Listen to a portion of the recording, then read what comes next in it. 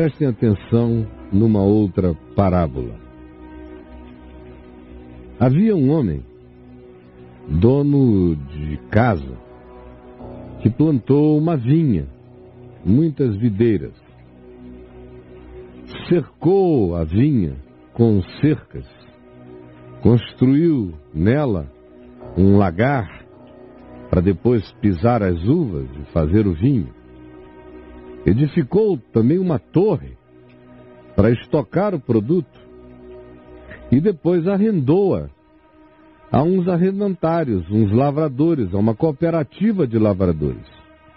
E ao fazer isso e acertar o valor do arrendamento, os depósitos, quem os receberia, o dono se ausentou do país. Foi para um outro lugar mas confiou na cooperativa. Ao tempo da colheita, de auferir os primeiros resultados, ele enviou aos lavradores alguns daqueles que trabalhavam para ele, a fim de receberem os resultados que lhe eram pertinentes, a parte, o percentual combinado no contrato. E os lavradores da cooperativa, agarrando os representantes do dono da propriedade, espancaram um, mataram outro, a outro apedrejaram e ficou um hiato, um vazio. O dono da propriedade não ouviu notícias de nada. Depois começaram a vir os rumores do que poderia ter acontecido. Então ele enviou ainda outros representantes seus, gente sincera para com os interesses dele, e enviou em maior número.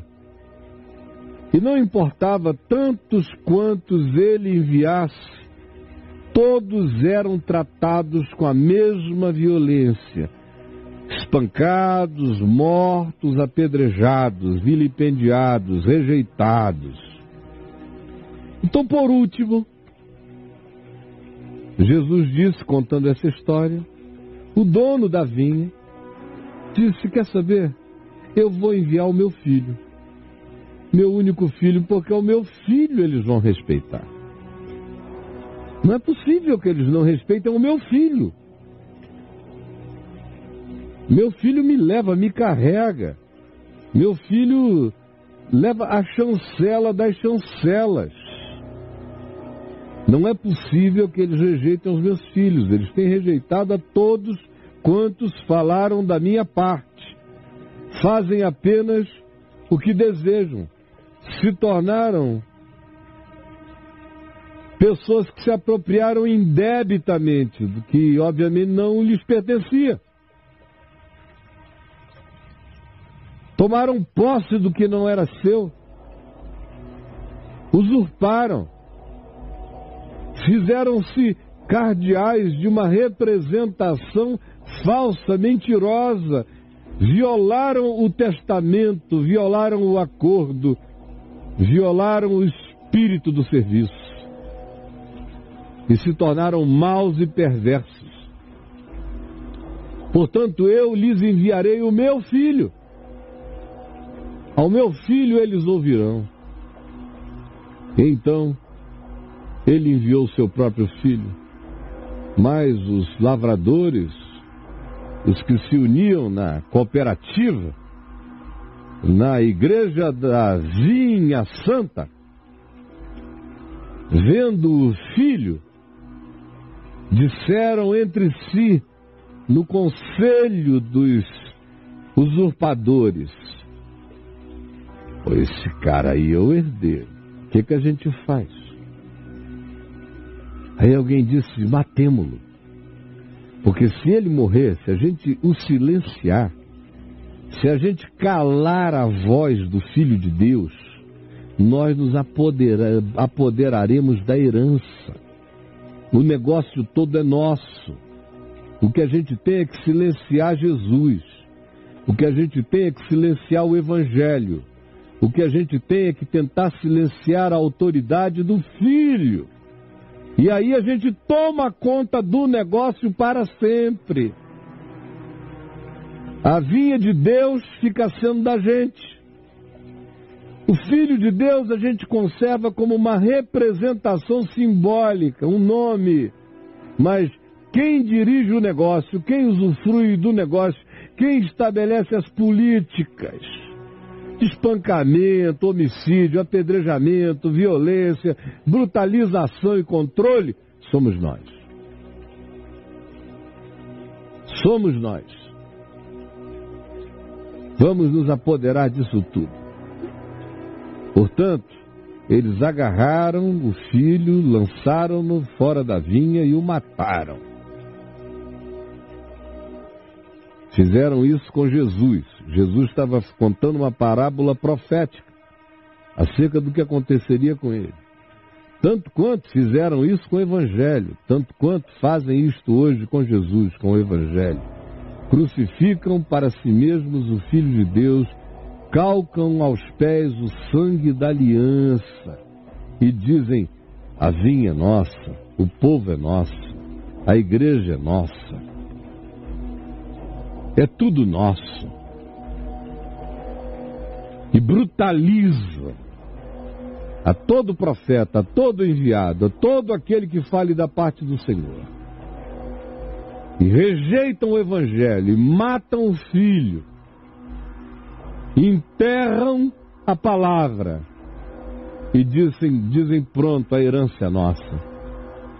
O Senhor Jesus perguntou a eles tanto quanto pergunta hoje a todos esses que são a reedição, são o remaking da, da mesma história, são os atores e os protagonistas contemporâneos desta parábola espalhados entre nós. O Senhor pergunta acerca deles, dos donos da vinha, dos donos da igreja, dos que recebem dinheiro em nome de Deus, são os representantes de Deus, que falam em nome de Deus, que dizem que são gestores das coisas de Deus, que brutalizam em nome de Deus, que fazem o mal em nome de Deus, que usam, que manipulam.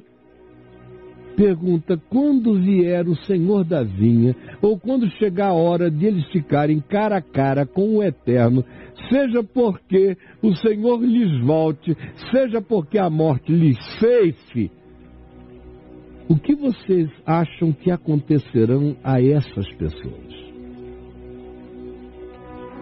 O que vocês acham que acontecerão a esses que estão tratando a vinha de Deus assim, que sempre a trataram assim? Ora, eles mesmos, se indagados, responderiam, porque eles são hipócritas. Eles respondem a verdade quando é necessário, eles só não a vivem. E eles diriam: ora, se eu conheço bem os conselhos de Deus, ele fará perecer horrivelmente a estes malvados e arrendará a vinha a outros lavradores que lhe remetam os frutos dos seus devidos tempos. Jesus disse: nesse caso, façam o que eles digam, mas não façam o que eles fazem. Porque eles são a mentira encarnada. Perguntou-lhes então Jesus a esses, que eram aqueles que correspondiam aos arrendatários, à cooperativa que se apropriou indebitamente das coisas. Esses são os cardeais da vinha que se chama igreja. Presentes então, presentes hoje, presentes sempre. Em cada geração, a história do Evangelho de Jesus se repete outra e outra e outra vez, e ele é rejeitado geração após geração. Assim como hoje, os seus representantes estão presentes aqui, aos quais Jesus diz a mesma coisa que a aqueles falou. Nunca lestes nas Escrituras, nunca. A pedra que vocês se dizem os construtores, os obreiros, que fazem, realizam, constroem as obras de Deus na terra. Nunca lestes que essa pedra que vocês rejeitaram, essa pedra de esquina, o Evangelho, a palavra simples, essa veio a ser a principal e única pedra de esquina. Nunca entendestes que isto procede do Senhor, que é maravilhoso aos nossos olhos, que até a rejeição de vocês está debaixo de uma profecia que prediscerne a dureza dos corações de vocês. Portanto, eu vos digo, e ele disse àqueles, e eles viram isso acontecer na prática, quando Jerusalém foi destruída, eles foram arruinados, ficaram dois mil anos dispersos pela terra. Como a mesma coisa foi dita àqueles que faziam parte das sete igrejas do Apocalipse, seis delas receberam um vaticínio, profecia igual, quando Jesus disse a eles: Portanto vos digo que o reino de Deus lhe será tirado. Disse a esses aqui, contemporâneos dele, protagonistas da história, em pé diante dele, tanto quanto através de João disse no Apocalipse aos anjos daquelas igrejas: Eu vos removerei, eu vos arrebatarei, eu vos arrancarei. Assim como foi no passado, é no presente. Portanto, vos digo que o reino de Deus já foi tirado de vocês. Já foi, eu lhes digo, transferido para um outro povo. Já está em operação em milhares de outros corações e vocês nem sabem nem viram.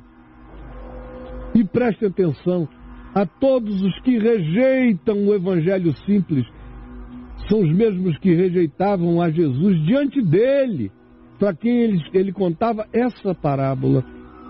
Os representantes desse espírito estão vivos aqui entre nós e sempre estarão.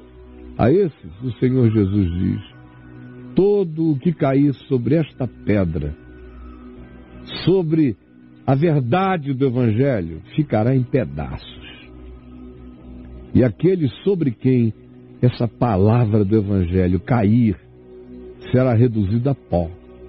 Porque esses são aqueles que rejeitam a pedra, rejeitam a rocha, rejeitam a palavra. Será a vingança de Deus contra eles? Não. Eles se suicidaram contra a verdade, porque nós nada podemos contra a verdade senão em favor da verdade. Ora, os principais sacerdotes, os bispos, os apóstolos judaicos, os patriarcas da religião, e os fariseus, e os teólogos, e os escribas, e o status quo religioso, establishment, presente ali ouvindo aquilo, entenderam, entenderam que era a respeito deles que Jesus estava falando. Eles entenderam que era a respeito deles. E aqui tem um monte de gente em estado muito pior do que o daqueles que conspiraram para matar Jesus. Eles entenderam. Tem gente aqui que faz questão de dizer que não entendeu ficaram tão duros de coração que acham que adquiriram o direito de procederem contra Deus, contra a vida. É o que a gente vê todo dia. Eles entenderam, todavia, que era a respeito deles que Jesus falava. E conquanto buscassem prendê-lo, temeram as multidões, porque estas o consideravam um homem de Deus e esse pessoal é hipócrita Quanto mais gente vai se agregando a quem fala a palavra com simplicidade, mais eles temem falar publicamente a respeito do assunto, porém não deixam de buscar uma ocasião secreta para ver se te arrebentam e te matam. Era um espírito presente lá então, e o Evangelho diz que é um espírito presente aqui entre nós hoje já. E ninguém se espante de que seja assim. O Evangelho, porém, já declarou a profecia da sentença de todo aquele que assim vive contra o Evangelho, contra o amor, contra o acolhimento, contra o que é de Deus, contra o que é devido aos cuidados em amor dessa vinha feita de gente, para ser tratada como produto lindo e puro do amor divino. Jesus. Tem muita gente aqui está sob o controle dessa cooperativa fisiológica religiosa do mal, aprisionando, contendo a vinho. Muitos aqui também, que são desses que trabalham para destruir a verdade. São anti-evangélicos. Embora sejam bispos, apóstolos, embora sejam filiados à cooperativa dos vinhateiros independentes do Evangelho. Mas estão aqui. Aqui estão assassinos e assassinados. Aqui estão apedrejadores e apedrejados. Aqui estão controladores e controlados. E aqui tu estás, Jesus, dizendo a verdade que liberta.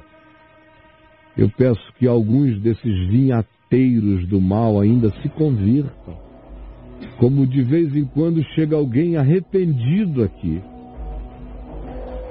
E eu peço que os milhares que estão debaixo do domínio e da gestão do mal nessa vinha, fruto de apropriação indébita, nas mãos desses que dizem que são os que falam em nome de Deus, controlando a vinha da miséria na terra e da maldade, que muitos desses caiam em si, abram os olhos, ouçam o Evangelho, sejam libertos agora, para que ninguém se arremeta contra a palavra, se esbagace contra a verdade, se destrua vivendo contra a vida. Por favor, permite que isso seja entendido. É o que eu te imploro.